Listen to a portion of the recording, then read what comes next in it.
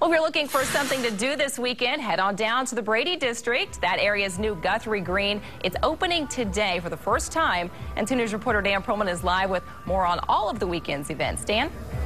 Hey, Dina. Well, yeah, you know, the first event here at the Guthrie Green is actually already underway. The United Way's Day of Caring is just now getting started. But I want to talk specifically about the park. It's called Guthrie Green for obvious reasons. Take a look around. You can see all of the green here, but it's really about more than just that. And for more on this, I want to bring in Stanton Doyle with the George Kaiser Family Foundation. Stanton, thank you very much for joining us. Oh, it's our pleasure. Thank you. Now, we're talking about how this is also environmentally green. Let's go ahead and take a little walk over here. These are the bioswales which are all around this park. Why don't you go ahead and tell me what exactly these do? Sure, it's a pretty simple concept. Um, when you have a, a, structure like the pavilion here uh, with the runoff water, the bioswale collects the runoff from the pavilion and just from a, the sidewalks and channels it through the park.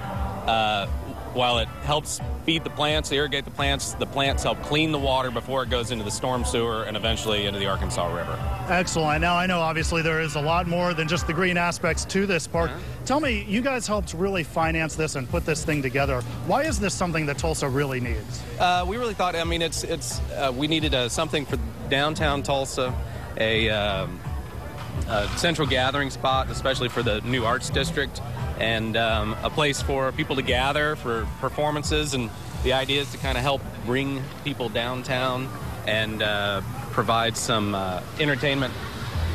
Just to gather people in downtown, people who hadn't visited downtown before, and give them a chance to be, experience local arts and just really just a place to relax and be a center point for downtown Tulsa. Excellent. Now I know right behind us we have Lucky's on the Green, one of the uh, bar or the bar and restaurant for the park. Yeah, yeah. Lucky's. Uh, we've been working with Matt Kelly. Uh, Lucky's on Cherry Street, and he's come up with a great concept. Uh, just international park fare.